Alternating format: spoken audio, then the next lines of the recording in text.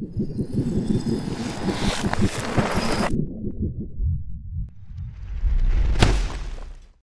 want to know why I became a gun owner? Absolutely. We moved here, okay, we were from New Orleans, and one night um, I was walking home from work.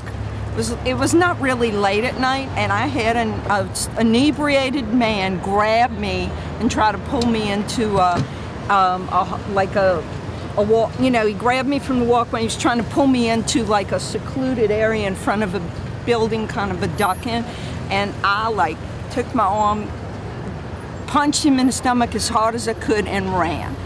Uh, I was grown. I just grown up in it. My father was retired army. Uh, just kind of grew up always around guns.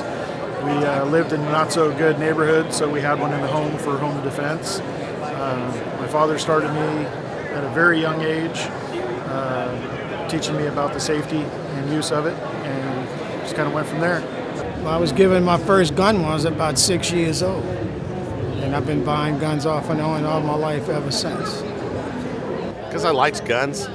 They're fun. They're fun to shoot, and you can do you can do anything you want to with them in a legal manner, and um, and that's what I wanted to do.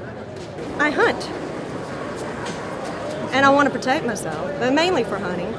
My first gun was a Smith & Wesson 357 Model 66. That's chrome, if you recall what it is. It was my duty weapon as a police officer and I got it because they told me no matter what you start with, you'll end up with a Model 66. And I kept it through my entire career until we moved to uh, semi-autos. It's fun.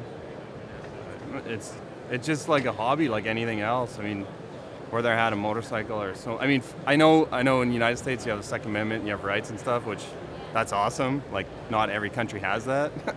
but even just the sporting aspect, just completely the sporting aspect of firearms it's great. And, and you're learning how to use a tool. I mean, that could be useful at some time, right?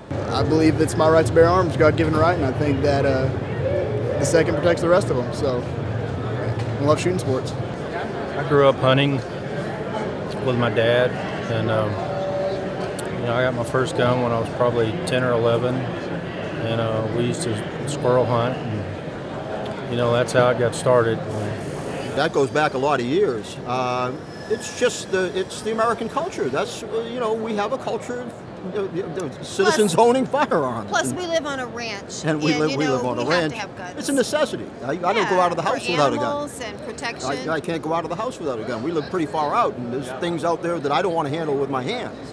When we moved to Houston, he said to me, "I think it's time that you get acquainted with."